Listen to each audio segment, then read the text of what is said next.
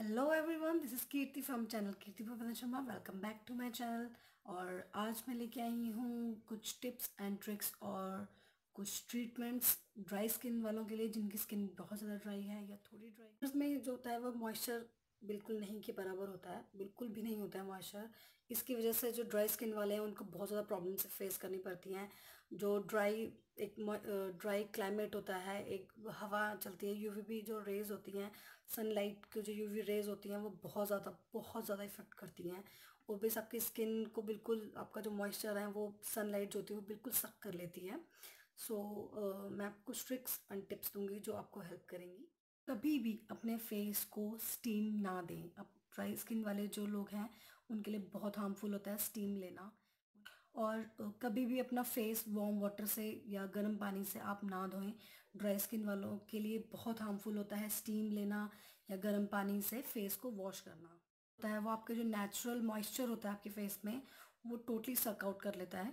So please skip करना मतलब avoid करना कि आप गर्म पानी से। जब भी आप फेस वॉश करें तो टैप वाटर से फेस वॉश करें और जितना हो सके समर्स में आप फेस को वॉश करें। और प्लीज़ टॉवल से अपने फेस को क्लीन ना करें। यस टॉवल से बिल्कुल क्लीन ना करें अपने फेस को।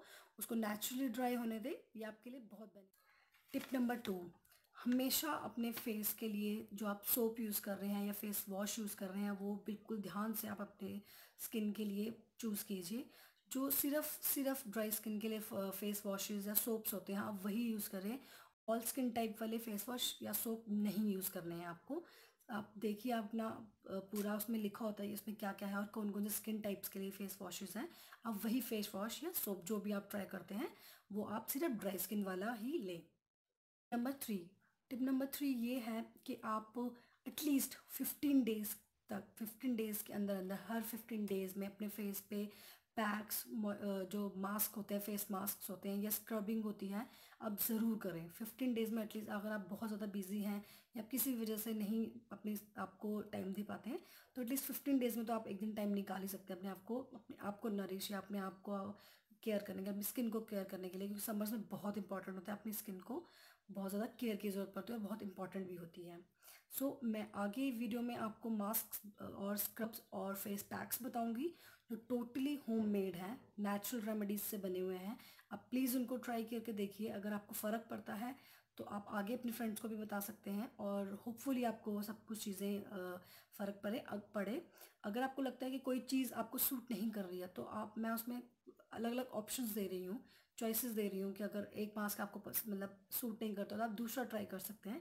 होम रेमेडीज़ हैं तो आपकी स्किन को वो हार्म नहीं करेगी ट्रस्ट मी और दूसरी बात ये होती है कि जो नेचुरल प्रोडक्ट्स होते हैं, जैसे कि जो फ्रूट्स हो गए या घर में जो नॉर्मली चीज़ें मिलती हैं फ्रूट हो गए वेजिटेबल्स हो गए या कुछ भी हो गया, जो होम रेमेडीज़ में आते हैं, वो कभी भी आपको साइड इफ़ेक्ट नहीं करते हैं। हालाँकि अगर आपको किसी से एलर्जी है तो वो एक अलग चीज़ है बट फिर भी आपको वो चीज़ें बिल्कुल हार्म नहीं करेंगे आपकी स्किन को।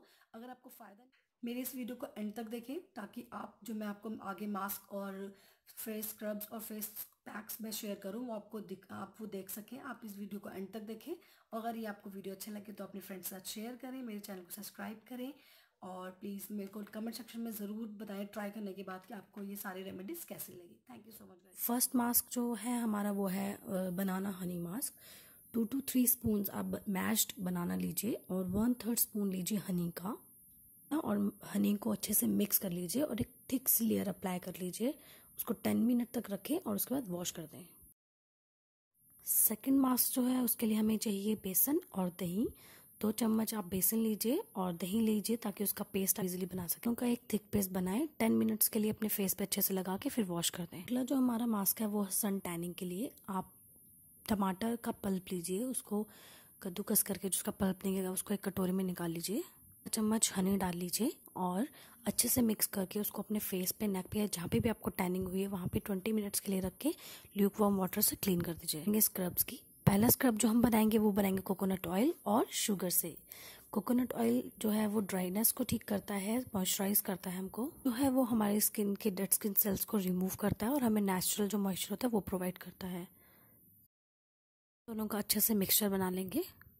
इस स्क्रब से हम हल्के हाथों से एक मिनट तक मसाज करेंगे अपने फेस पे स्क्रबिंग करेंगे, उसके बाद हल्के से गर्म पानी से उसको हम वॉश कर देंगे। स्क्रब है हमारा ग्रीन टी और हनी स्क्रब इसका मैं ऑलरेडी एक फुल वीडियो बना चुकी हूँ इस स्क्रब के ऊपर। आप डिस्क्रिप्शन बॉक्स में जाके चेक कर सकते हैं। अब से हम अच्छे से अपने फेस पे मसाज करेंगे पाँच से सात मिनट तक। फिर उसके बाद हम इसको टैप वाटर से क्लीन करेंगे और उसको एयर ड्राई होने देंगे। करेंगे फेस पैक की। और हमारा पहला फेस पैक बनेगा पपाया से, यानी कि पपीता यस ये हमारे लिए बहुत बेनिफिशियल होता है समर्स में।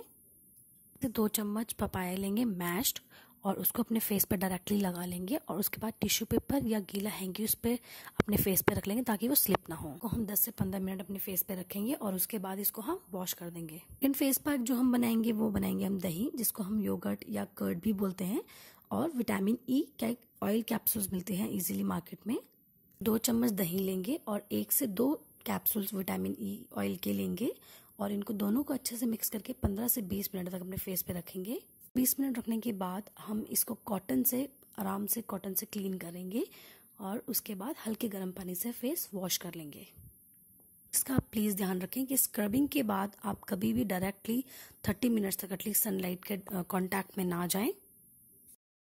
मास्क स्क्रब या फेस पैक लगाने के बाद 30 मिनट तक आप अपने फेस को सोप या फेस वॉश वॉश ना करें। आप चाहें तो आप मॉइस्चराइजिंग क्रीम लगा सकते हैं।